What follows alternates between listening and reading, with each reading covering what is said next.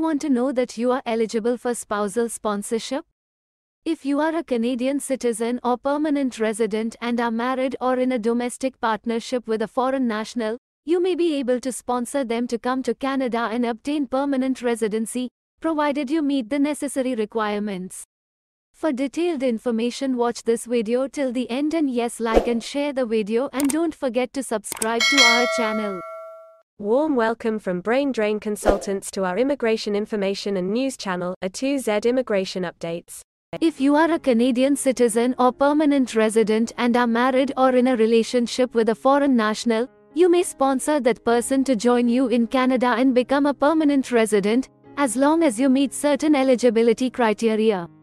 To be eligible for spousal sponsorship, you must meet the following criteria be at least 18 years old, be a Canadian citizen or a permanent resident living in Canada, not be incarcerated, bankrupt, facing removal, for permanent residents, or charged with a serious offense, and not have received sponsorship as a spouse within the past five years.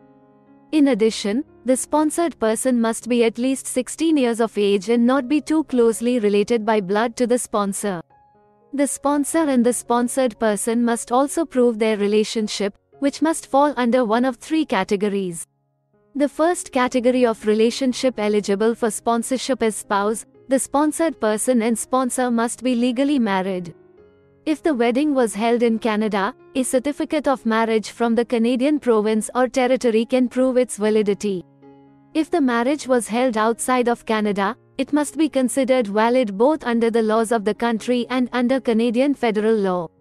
The second category is a common law partner, in which the sponsored individual and the sponsor must have lived together in a conjugal relationship for at least one year continuously. The third category is conjugal partner. A person may be considered a conjugal partner if exceptional circumstances beyond their control, such as immigration barriers or legal restrictions on divorce or same sex relationships, have prevented them from qualifying as a common law partner or spouse. Additionally, the couple must have been in a mutually interdependent relationship for at least one year, with the same level of commitment as in a marriage or common law partnership.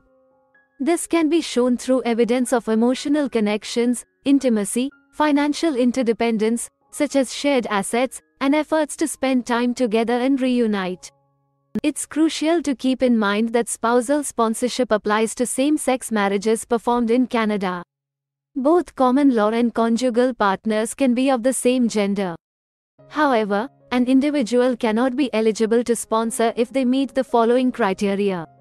Have not paid an immigration loan, a performance bond and or family support payments, failed to support a previously sponsored relative, which resulted in the sponsored individual seeking social assistance to meet basic needs, is under a removal order, is in a penitentiary, jail, reformatory or prison receives social assistance for reasons other than a disability, have filed for bankruptcy and have not received an order of discharge by the court was sponsored and held permanent resident status for less than 5 years, sponsored another spouse, partner previously and 3 years have not passed since the sponsored spouse, partner became a Canadian permanent resident.